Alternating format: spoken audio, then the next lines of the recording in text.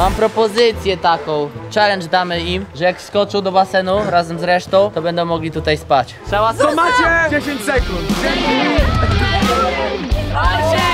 7, 6, 5,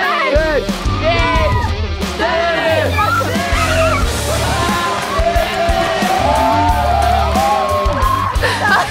Jest mocno, widzę. Nie będziemy spali w śmietnikach pod kartonami. Cieszymy się! Świeży powiedział, że jeśli skoczymy Dostajemy nocleg. w 10 sekund, to nie jedziemy na szałas, tylko możemy stać tutaj. Ale i tak mieliście tu spać.